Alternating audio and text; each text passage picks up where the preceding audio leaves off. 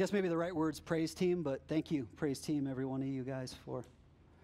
Yeah, give them a hand. Give them a hand. It's, it's a big deal to uh, put your gifts out there, put your passions out there, let God use it.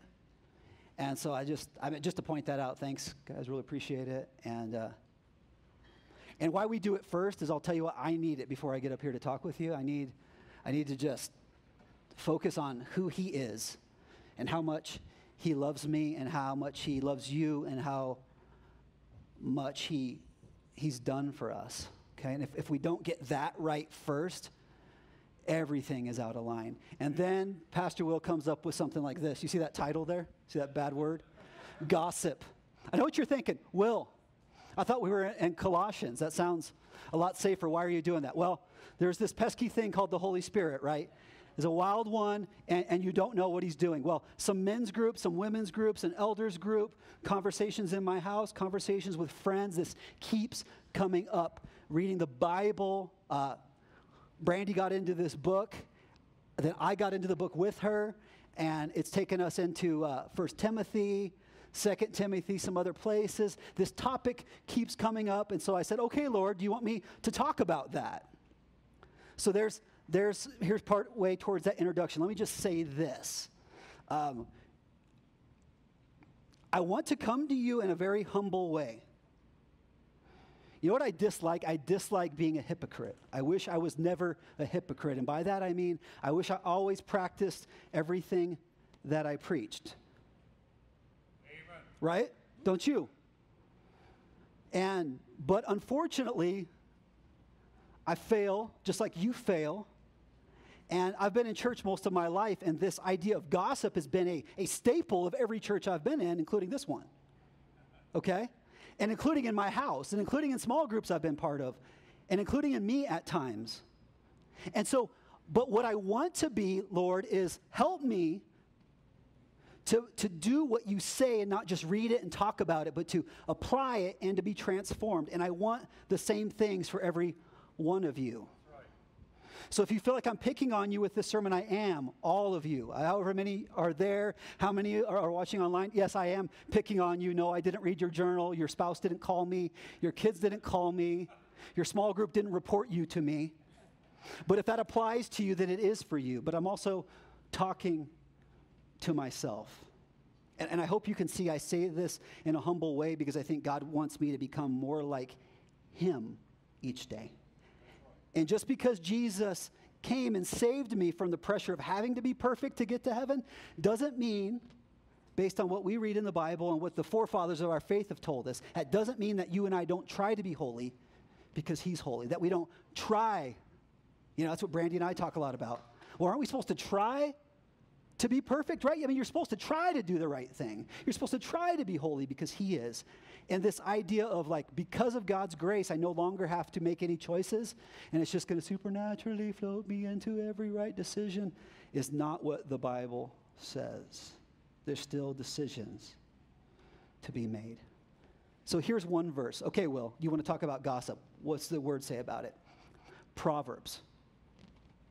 This is, right, scripture from a wise man based on an observation of a, law, a long and full life, says this Proverbs 20, 19. A gossip betrays a confidence, so avoid anyone who talks so much. Uh. Half of you feel really justified because you're like, I'm usually quiet and I'm really happy right now that I'm usually quiet because the loudmouths like Will are looking like idiots right now. Yes, yes, talks too much. If you made a poster, they'd probably put my picture on it and they would leave room for some of you right next to me, right? And some of you know who you are. There's a danger in that. Well, the Hebrew word translated gossip in the Old Testament is defined this way one who reveals secrets, one who goes about as a talebearer or scandal monger. A gossiper is a person who has privileged information about other people and proceeds to reveal that information to those who have no business knowing it. Clear as mud? Uh, I don't know. So, in one breath, I'm telling you get to know one another, be the family of God, have fellowship. That's important and key. And then the other breath is I'm saying, now that you know each other more, you're going to be at, you're going to have uh, access to more privileged information about other people around you. Is that a fair assumption? Okay. Um, so there's a greater danger of gossip the more you know people and the more they pull back the curtains of their life. So this is gonna let's let's try this too. Um, say this for me. Say, oh man. Okay. Say, oh man. One, two, three. Wait. One, two, three. Oh man. Right? How about no way? One, two, three. No way. One, two, three. No way. How about we're going to say uh, that's right. Okay. At three. One, two, three. That's right. Also, how about, oh yeah, can you do the Kool Aid man? Oh yeah, right? Can, I can't do that very well. Maybe you can help me. One, two, three. One, two, three. Oh yeah. Why am I having you do that? Because help me out here because we can fall asleep with the data and so the Bible says things like hallelujah and amen. And we don't always say that in the world, right? Like you're not hanging out, right? We're not hanging out watching the football game and they score a touchdown and you're like, amen, yeah, right, give me. No, you're like, oh yeah, or oh, no way. You got to be kidding me, right? So help me out with some of that. Let's wake up here a little bit. So help me out when I say something and it's like an oh no thing, like oh no, then you could say that. It'll help me out. Or no way. Like you got to be kidding, Will. If I'm saying something wrong, stop me okay? Or, oh yeah, like I agree with you. Or you can say amen or hallelujah or a holy grunt, whatever it is that, that you prefer. Okay. Yeehaw. See, that works too. That's great. So, Will, what, what, and this is what I'm asking the Lord, okay, how is sharing information and gossiping different? So I was doing some research and I, I, saw it written like this, and I thought this was great. Two ways in which gossip is different than sharing the first way is the first thing is uh, intent. Okay? Intent. I- intent. Gossipers often have the goal of building themselves up by making others look bad and exalting themselves in some kind of as some kind of repositories of information or knowledge, right? So I know and I want to show you that I know. So it builds me up and it brings other people down. The second thing is the type of information shared. So, gossipers speak of the faults and failings of others or reveal potentially embarrassing or shameful details regarding the lives of others without their knowledge or approval. Even if they mean no harm, it is still gossip. So, it can still harm even if that's not your intent, right? And we find that. We find that it harms people. I notice a big thing too is you you get involved in other people's lives and you make you analyze and you use your better judgment to, to say this is good and this is bad. And it's the danger that we run into and i run into at times just to say well they're really doing this wrong you know or they should do this. And it's like oh man lord we that is not how your people should be. The bible uses another word slander.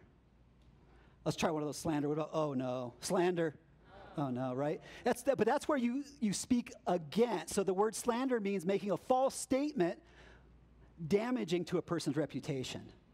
So slander is a type of gossip, but not all gossip is slander. That makes sense? Your intent might not be to tear somebody down. If your gossip is intended to tear somebody down, then that is in the slander category. So check in the Bible about that. I'm giving you a lot of scripture here, but there is tons more. See, the key difference between gossip and slander is that gossip does not usually start with the intention of harming someone, whereas slander is a deliberate attempt to harm someone's reputation. So let me ask you this question. What types of gossip have you observed? Of course, you didn't do it, right? I know.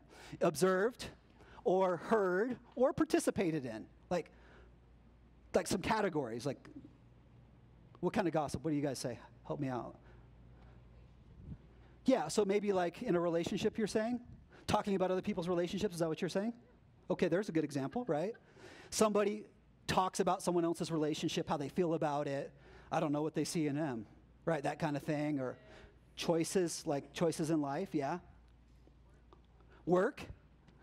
Work is a work is a bad place for that, right? Not you. But you've heard about people that do that at work, right? Or school. You've heard people slander, but you didn't do it. At school? Yeah. People's kids, that's a great one. You talk about other people's kids. Did you see what they're wearing? Do you see what they're doing? What about that? In the family. Gossip within the family. Yeah. The closer you are together, the more it breeds this because you know about each other and you feel entitled to, to state your opinion, right? Right? Another, another, um, so, so tell me, am I off on this? Like, oh no, or no way, or yes, or oh yeah, okay. Sometimes what, what we want to do is we want to share our opinion on someone else's life.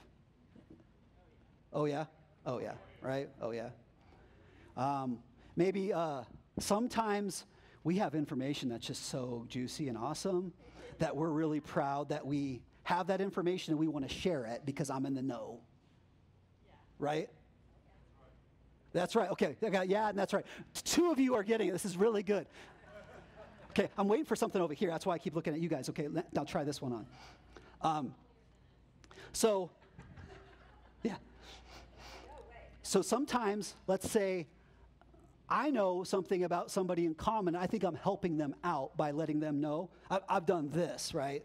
I'm helping them out by letting them know a little bit what's behind the curtain for their relationship with them. Is that a no way? Oh, yeah. Say something. Come on. Am I off or right? No way. Okay. That's good. That's good. Connor's never done that. So there's some types of gossip. There's so many more we can't cover that exhaustive list. But my prayer is that the Holy Spirit actually will, will talk to you about the type that you've engaged in. Um, and, and stop it because the Bible is really clear that we should not do this and we need to ex, you know, extract this from our culture and not build a culture around it. See, also, we have a culture in the world that teaches and values critical thinking, and it, cre- and it creates those who are critical in their thinking, therefore, right? Let me give you an example. See any online review, right? Everything wants a comment. Everything wants your opinion. You are called on, every one of you, to be an expert on everything. Is that true? Right. Oh, yeah, that's right. Not every, yes? What about over here? Is that true? Oh, yeah, right here, right? Oh, yeah? Sweet, look at this, it's working. Oh, yeah, that's right. Okay. Think of online reviews. So, everything is asking you to be an opinion. And everyone's opinion matters. And everyone's entitled to be offended, right? The offended part of you. You're so offended by everything. Do, do we see that? That's right, we see that. It's, it's encouraged, and I saw this in my kids as they grew more. Everything they were given was, was critical thinking based. What's wrong with this? Right? It's programmed in you from a young age, and so you begin to tear apart everything that you see. So everywhere that you go, and every person that you meet, you're like, ah, oh, I got to find their kryptonite because I got to tear this thing apart. Because since I was seven, I've taken everything someone's written and I've torn it apart, and I've shown them where I agree because I'm an expert, right? You're talking about the best type of roofing tiles. I'm not an expert on that, but I will be called upon to review an article about that, right? And tell you whether I think they're right or wrong. Stupid. I'm not an expert on your relationship, and frankly, no one cares what my opinion is. Sometimes not even the people closest to you care what your opinion is. Yet you feel obliged to the entire universe to offer it at every point in time. Right? See, and it's become so ingrained. Maybe you've observed this. You can help me out, see if I'm off base on this that when you get together with someone, you always talk about two things one, how busy you are, and two, you complain, right? About somebody or something or whatever. You know, you want to complain about the government or kids these days or TV shows or boomers or whatever it is you want to complain about, depending on where you're at. Your common ground is the things that you dislike. Right? Even in the Christian church, we build our entire existence on what we don't like and what we don't believe is right instead of at times what we believe is true, which is what we should stand on, not what we're against, but what we're for. See, the problem with this all is, is the, the Bible. Now, along those lines with being a hypocrite at times,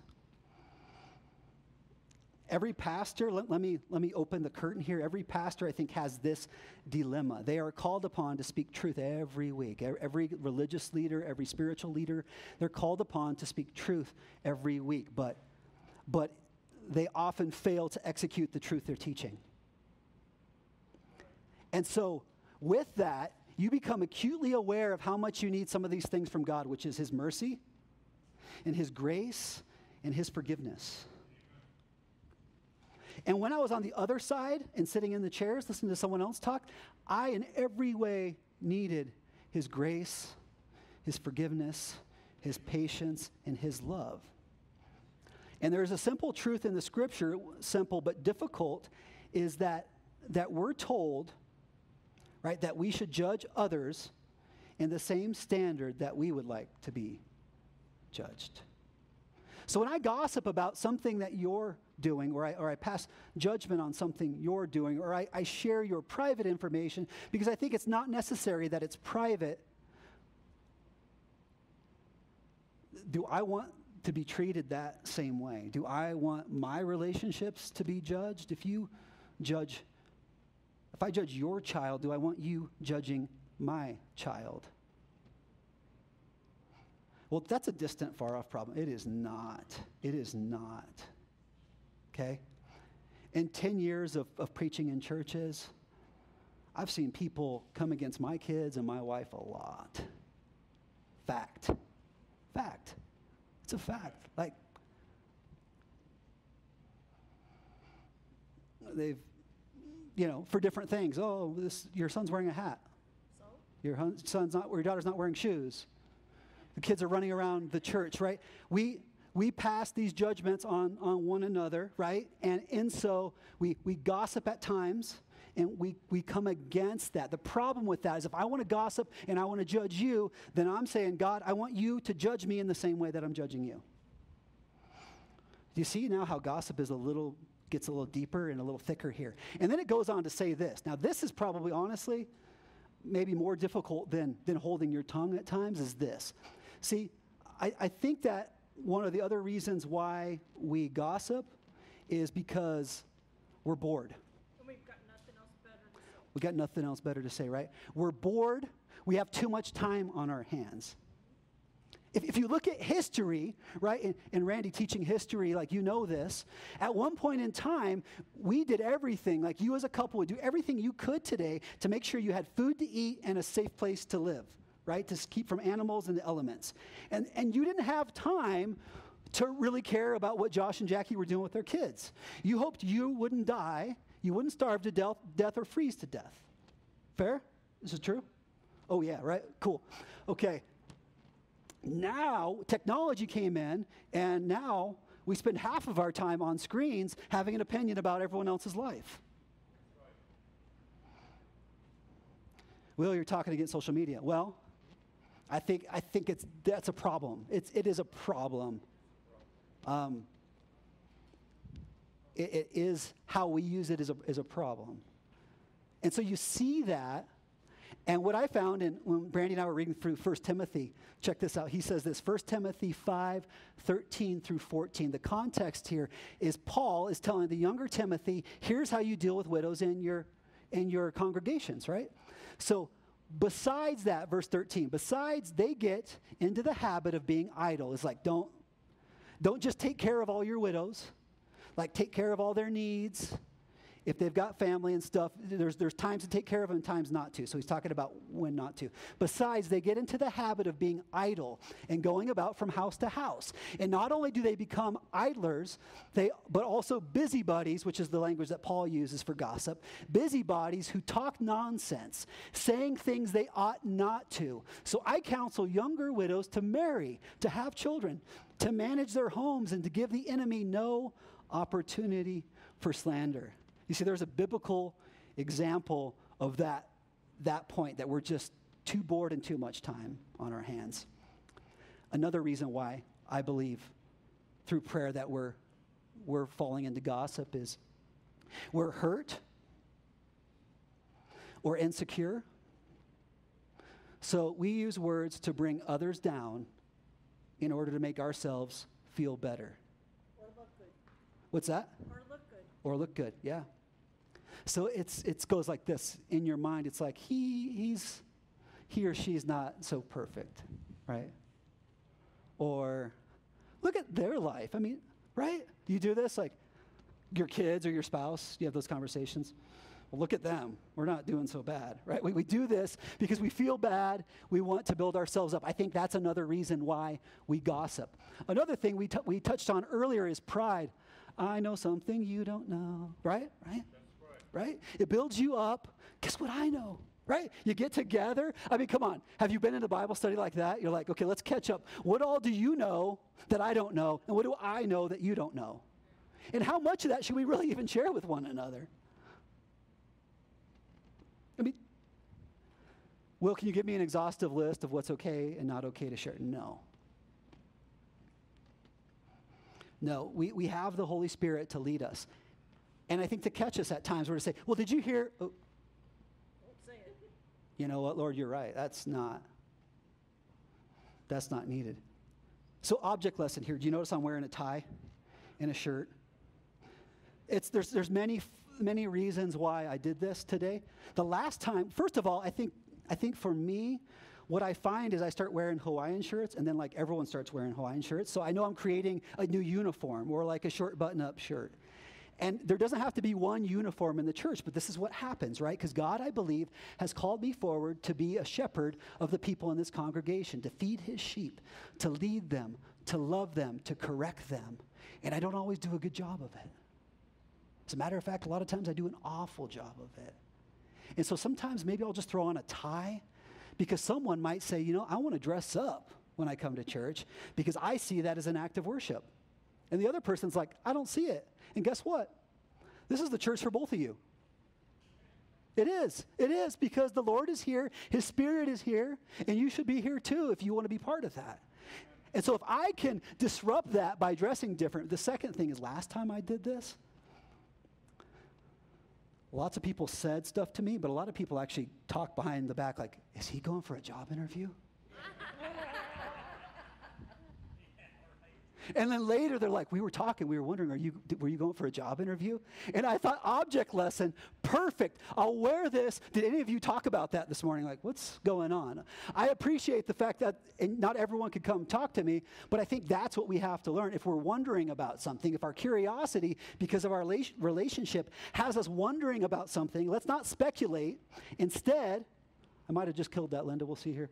Um, instead, I think what what's happened is we forget to ask the simple question Will, I don't want to speculate that you're interviewing for another job. So instead, I'll just ask you, why are you dressed like this? And my answer would be, I'm just messing with you. and then your response is, it works. You got everybody confused. See, everyone's confused. Now, next week, there'll be like a run on ties in here, and, and, then, and then I'll be back with bare feet. Who knows what I'll wear next week? Keep you guessing. So, um,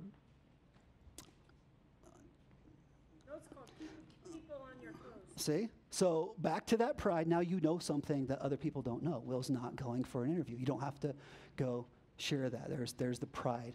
Uh, next, I, I want to ask you what other reasons have you seen are a reason why people would, would gossip? I'll try this and see if it works. Yeah, it's not going to anymore. Okay, Linda will help me out with those slides. Um, what other reasons have you noticed for gossip? What other things have you experienced that I haven't listed? People just don't have anything to say. They don't have anything to say, so they got to come up with something. Yeah. Okay. Yeah. Yeah. We gossip a lot because we're not counting our blessings. We gossip a lot because we're not counting our blessings, right? And what do we love? We love to watch other people's lives play out on TV and screen, right? And sometimes real life is juicier than that. And so we like watch, right? We, we want to watch and see. I think, I think that draws us in at times. What, what other reasons have you seen? Jealous. Jealous. Yeah, jealousy. And that plays back on like, see, they, they don't have it all together. Yeah, any other reasons? You feel like you have to say something, right? Awkward quiet and stillness is, is difficult. So How about uh, so and so's hair, right? You got, got to come up with something to say. I, I didn't point at him. I like it. Jealous. Or some young kid with multicolored hair, it's like, whoa. Yeah, yeah. Yeah, have you seen the commercial where they're talking about how you become your parents? When you buy a house, right? It's like an insurance commercial. I just saw this not the other day for the first time, and this kid walks by with blue hair, and there's there's younger people like maybe in their 30s or early 40s, but but they're very much dressed in the khakis and the polo shirt. And there's a guy trying to teach them to not become like their parents, and that's that's one thing they do. They kind of judge the guy with the blue hair. Young kid bl- walks by in the blue hair, and all three of them look like with mouths open, and the guy's like, "We all see him." Stop staring. So I just thought that was kind of funny. It made me think of that hair. We are just ingrained, right, to, to judge. Well, here, let me throw another one that's even more difficult, maybe, for you to swallow on this one is gossip is not limited to just the one speaking. And this probably catches more of them. In me, right, one of my faults, guys, is I tend to uh, want to people please and to peace keep. So I fall into getting passive, and my wife and kids suffer from that all the time, and you guys do too. So something God's working on in me is to call it when I see it and to be honest and bold and direct in love. This is a growth area for me. And so this can be very difficult, but gossip is not limited to just the one speaking. Engaging in gossip as a hearer who says nothing is still wrong.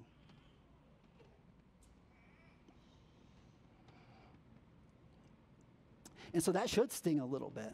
That, that should kind of burn because I think most of us, even if we can hold our tongues, we run into that. We say nothing when it's happening. Proverbs 17:4 says an evildoer listens to wicked lips and a liar gives ears to mischievous tongues. That's kind of strong, right? Evildoer. Like if you don't say it, you're perpetuating evil by allowing that to, to go on and say nothing. Okay, well, I know. Let's, let's try to, this is getting uncomfortable. Oh no, right? Oh me. Amen, like in a bitter way, right? So, okay. Is gossip really that big of a deal? I mean, really.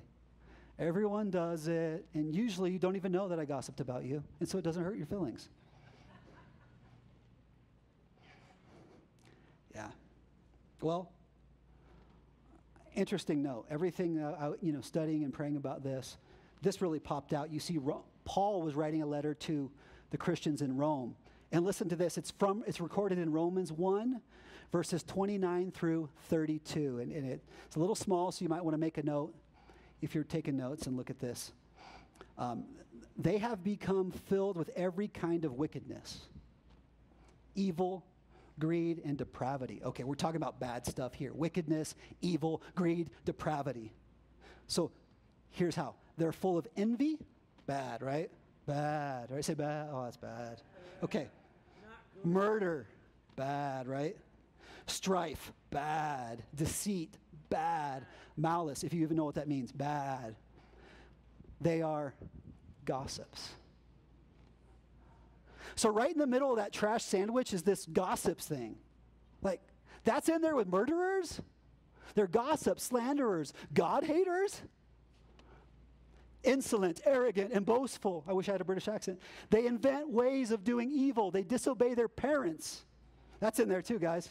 Disobey their parents and slander and murder people. It's like in there in the same thing, like God haters. This is serious. They have no understanding, right? This is why they do it. They have no understanding. They don't get it. They got no fidelity, no love, no mercy, although they know God's righteous decree that those who do such things deserve death. They not only continue to do these things, but also approve of those who practice them. Wow. Gossip is a huge deal. It's a huge deal. And very, very harmful. Okay, yeah, but but really, doesn't gossip just hurt their feelings? Right? You know, sticks and stones may break my bones, but words will never. But names will never hurt. Right. Don't don't people need to just get over it? Well, it sticks with you sometimes. Yeah. Isn't, isn't it their problem? Shouldn't they get thicker skin? No, no, not, not, a, not according to this. Words are powerful. As a matter of fact, see, I'm throwing tons of scripture at you, so make, make notes. Proverbs 18 21, the tongue has the power of life and death, and those who love it will eat its fruit. See, the, prob- the big problem, guys, what we're running into, the meat of this is that gossip and slander, unbridled words separate people. Gossip breaks trust and confidence. Gossip separates friends. It divides and does not unite. Proverbs 26, or, I'm sorry, I can't speak right. Proverbs 16, 28. A, a perverse person stirs up conflict, and a gossip separates close friends. This is where it's so damaging. When I counsel with people who have been hurt, this is a reality that I've learned over time. The truth of what happened really doesn't matter. What really matters more than anything is your experience of the truth that happened.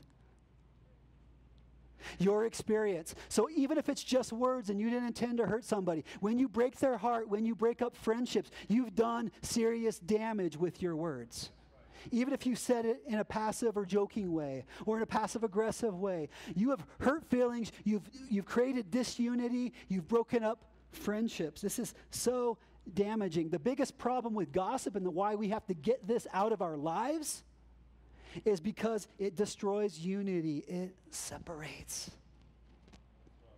And unity is so important among us in Christ. I mean, we can say this is the most important thing, but one of the last things that Jesus cra- prayed for before he went to that cross is that we would be one, right, with that, with the Father, as he is one with the Father. The whole part of this is abiding in Jesus and connecting. And when we insult, when we gossip, when we slander, when we tear down instead of build up, we create divisions between us. And who gets in those divisions? The Satan, the enemy. He takes every opportunity of your sin and mine. He's done it even this week, right? To get in, get his little claws in there, and create and, and sow discord and disunity and drive us farther apart. See, here's an example. Do you remember when, when Peter, Peter was a Jew, didn't eat things like pork? There was a lot of dietary restrictions he had with the law. And now a new time had come. Jesus had been resurrected, right? Ascended to the Father. And now, how are we going to deal with these Gentiles who didn't have the Jewish traditions and the Jews who had all these traditions? And them getting along is pretty much the whole New Testament, right? Especially all Paul's letters. And so we see things in there like he gives Peter a vision and says, It's okay if you eat some, some bacon, dude. Because even though it might not be good for you, science has found out, maybe eating a little bacon with your brother creates unity that is so far more important than your dietary restriction. Right? I know, I know. Says the couple who just, you know, got a pig. So, so there you go, right? Um, uh, is that gossip? I don't know. Oh, it might have been. Oh, jeez. Oh, no. Forgive me, Lord. Um, another example the, the Jewish council, they met, right? Because some Gentiles were like, we want to be in. And so they got together, right? The pointy heads got together. What do they need to do to get into the faith? Do they need to become Jews first? We're going to have to circus, circumcise these adult men. Will they have to go with all these dietary restrictions? And they fought and they argued and they prayed about it, and the Holy Spirit gave them this truth. It said, basically, there was a couple dietary things that they had to observe, these Gentiles. And then the second thing they had to do is stay away from sexual immorality. And then the question is, how can they tell Peter, eat some bacon, and these guys don't eat things sacrificed to idols? I think the answer is simple unity.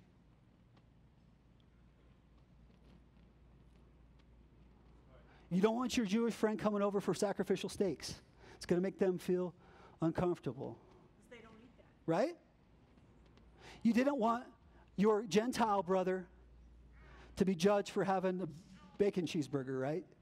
And so God went towards unity, that, that we are the body. We work best together. We're complete when we're together, not when we're separate. If you don't believe it, how's COVID thing going? That's fun, right? Oh, yeah. Sure. Isolation and madness out there. Shoot, I mean, this disease is bad, but what's worse is the way we're all acting. Right?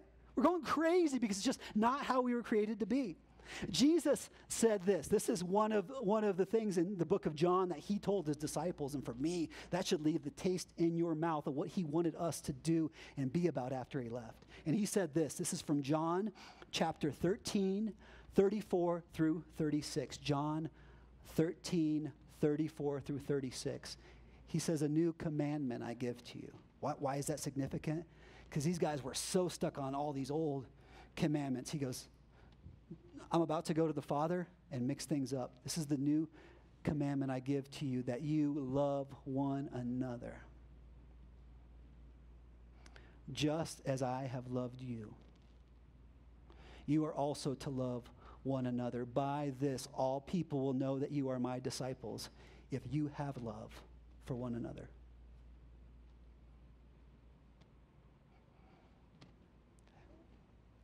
I know it's easy to say that one, uh, one thing we run into is a bad definition of love, for sure. Because sometimes loving is saying hard things. But loving is never saying hard things about people to other people. Do you see the difference? If Lowell's like, Will, you know, you should put a shirt on because you're scaring children and causing the women to have impure thoughts, right? You might have to call me on that but you shouldn't go to Jim and say, Did you see Will? What a jerk. Do you see what he did? That's not loving. Sometimes loving isn't just saying, Yeah, do whatever you want. And sometimes loving isn't saying, Wait, you guys are all, all engaged in gossip and it's starting to make me feel uncomfortable. And I said nothing. Instead of, Wait a second, Will, I think that might we might be getting into an area of gossip. Could that be more loving? Say, oh no, oh yeah, what do we think? Is that more loving to say, oh, Casey, dude, I think I think I'm crossing a line into gossip. Let's stop. Or I feel like you're st- crossing that, right? Is that more loving than saying nothing? Because would it be loving for me to us to talk about Ross like that? You know, what would it be? Loving. I didn't do that, Ross. Just messing, man. But but we should love one another, and by this all people will know that you are my disciples. But if, if you came into the church, I think what I've seen um, is you get involved in, and like uh, you come into a church and you, the first thing you do is try to connect, right? That's the word we use. So you get together with a group of people in a smaller group and try to talk about it. And if their culture is that they gossip, then to fit in, what do you do? You gossip. But then you said here, Hope, you had observed, never happened to you, but in the workplace that people gossip. And then at church, if they gossip, then how in the world would anyone know that we're his and not just the world's? Because at work, that's just what we do. All of us cubicle mates gossip about accounting, right? This is what we do every day. And when we go to the women's group, all we do is gossip about the teenagers or whatever, you know? This is not taken from factual events. I'm just throwing some stuff out there. But what if you came into that place and someone was like, Well, did you hear about? And everyone's like, I don't think we should go there. And they stopped. Wouldn't that be nice? Then we'd be different. Right? Then we'd be different. See, God puts people in my life, like my wife, to remind me to be different instead of just conform because that is the tendency, right? And I think that's the tendency for all people who want to be loving and gentle and kind is don't rock the boat, don't say anything, don't confront anything. But that is not always loving. And when we love and when we really do it like Christ says love, then we're going to stand out. And, and, to take it even further, this is what Paul is saying to, to the church at Ephesus. Ephesians 4:29. He says it this way, "Do not let any unwholesome talk come out of your mouths, but only for what is helpful for building others up according to their needs, that it may benefit those who listen." So there's your measuring tool. What I'm about to say, do I want to say that first of all am I saying it to the person that needs to hear it instead of saying it to you about them? Right? We get that difference? If I'm talking about you to her, that's unnecessary right? I need to talk to you about you. But the question is when I'm talking to you, if I'm going to say this thing I feel compelled to say, will that build you up? Be careful. Build up isn't, isn't make feel good. build up is, is to strengthen and to put into a better position, to create a better foundation. So sometimes building someone up is coming against what they're doing wrong. And in the brotherhood of Christians, we can do that with one another. That, and we can say, wow, you know, if, if I see something and I feel compelled in my spirit to share with you or to talk about it, would you do that? Please, after prayer, if God wants you to share it, but share it with the person. Don't wait till later feeling bad about it and then gossip about them. And clearly, I think you know if you're told something in confidence, just being an honest person is you don't share that, that thing that was shared with you in confidence. And if you struggle with that, then ask God to help you make better decisions. He's not going to stop it, but pray that He would shut your mouth at the right time and that He would convict you if you start down that road. Amen. That we would look at it and say, wow, what I'm about to say or do, is this in any way building these people up in the brotherhood? Because the failure of our church in the world to see people know and love and worship Christ is we don't work together.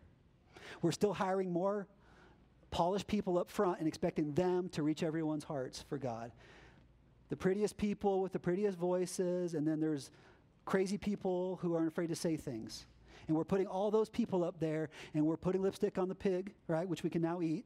And, and we're, we're putting them up there hoping that they're going to save the world, when really we were supposed to be the body, but the hand, right hand's not talking to the left hand because she made a comment to, so, to the foot about her skirt. And so we've got no body. The friends are divided.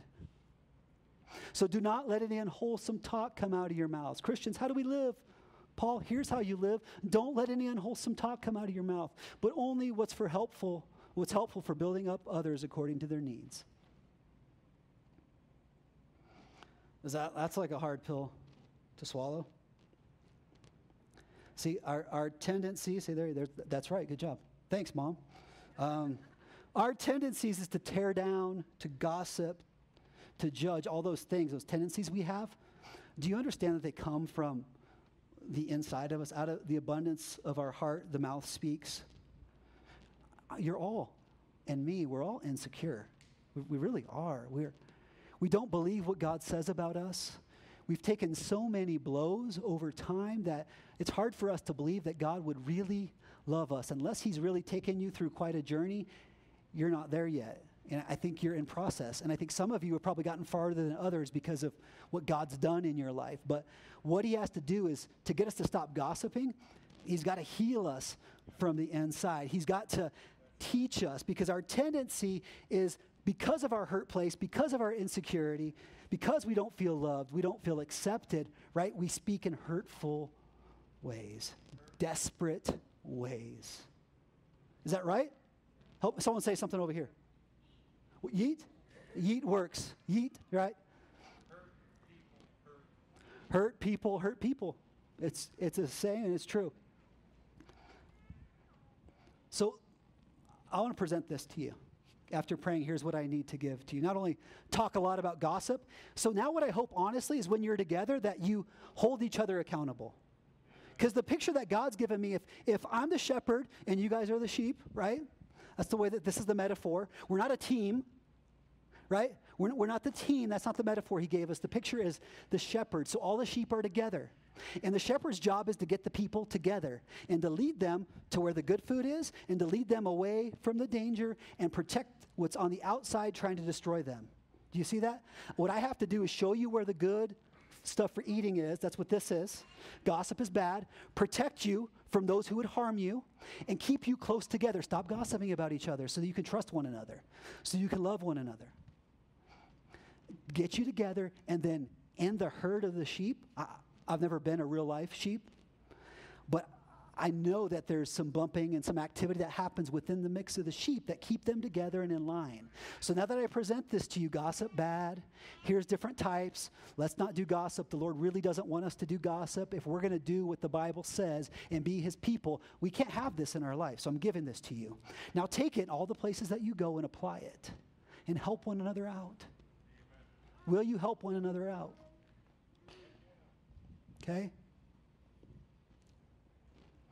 But here's the other thing for you individually to simply tell you never gossip and just hold your tongue is, an insufficient help. I think the antidote for gossip is love. And all my prayer and all the study, the antidote for gossip is love. Receiving the love of our Heavenly Father, that's the only way that you get healed on the inside out. Okay? Receiving the love of God, really receiving that, holding on to it so that we can feel secure in who we are. And then from that, only from that, then we can share love. If it's not in you, you don't have it to share. The Christian life would be an act of being in the presence of God so He fills you, overflowing, so that you start spewing love on everyone around you. And if you did that, you would not want to tear down your neighbor. And, just to show you that Jesus is serious, Matthew 22, he really has said what I've come to know is the law of God. And it, it's this. And I and he said to them, he being Jesus, You shall love the Lord your God with all your heart, with all your soul, with all your mind. This is the great and first commandment. And the second is like it you shall love your neighbor as yourself. How are you doing? How am I doing? Am I loving God with all my heart, with all my soul, with all my mind? If I'm not, that's what the church word is sin. We fall short of what God has for us. And the second is, is like it. We shall love our neighbors as ourselves. Are you loving yourself? Are you loving your neighbor? And if that was a checklist of three things that you need to be doing, gossip would, would make it so you weren't checking off any of those three things. It's not loving your neighbor, not loving God, and not loving yourself. So, how do I love? Maybe take this and meditate on this a little bit. 1 Corinthians 13, verses 4 through 7 say this Love is patient, love is kind, it does not envy, it does not boast, it is not proud, it does not dishonor others. Underline, underline. It is not self seeking, it is not easily angered, it keeps no record of wrongs. See, love does not delight in evil, but rejoices with the truth. It always protects, always trusts, always hopes, always perseveres. Here's a paraphrase for that. It says love, and you find this in the message, love never gives up. Love cares more for others than for self.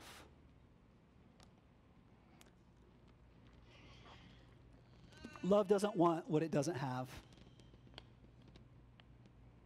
Love doesn't strut, doesn't have a swelled head, it doesn't force itself on others, isn't always me first. Love doesn't fly off the handle. It doesn't keep score of the sins of others. It, doesn't revel when others grovel. Takes pleasure in the flowing of truth puts up with anything, trust God always, always looks for the best, never looks back, but keeps going to the end. So, Lord, here's what I ask. Lord, I ask that you would guide us, strengthen us so that we can make better decisions when it comes to gossip, so that our lives and the way that we interact would be loving our neighbor. That no matter what's happened before this day, love mm. says, Today is a new day in which I have a chance. I have forgiveness for my sins, forgiveness for my shortcoming. And today is a new day in which I have a chance to make better decisions strengthened by the Holy Spirit. Lord, bless my friends, my family here, Lord. Unite us in you, unite us in your spirit. God, you have done all these good things. And Lord Jesus, you have bore my sin and everyone here so that we can walk new today and choose not to go back to those sins. We're free not to go back, but we're free to move forward, Lord. And because we're forgiven, Lord, remind us, Holy Spirit, remind us to love others and to forgive them. Because you're patient with me, that I can be patient with them. Lord, thank you for the millions of blessings in every one of our lives. Thank you for our very breath. Thank you for not being caught off guard with what's going on in our lives right now. Lord, I know that you're going to transform your people, Lord, and do it. Do it, Lord. Continue in the work you started in us. Come, hold the lens, your lens over our life. I pray this in Jesus' name. Amen.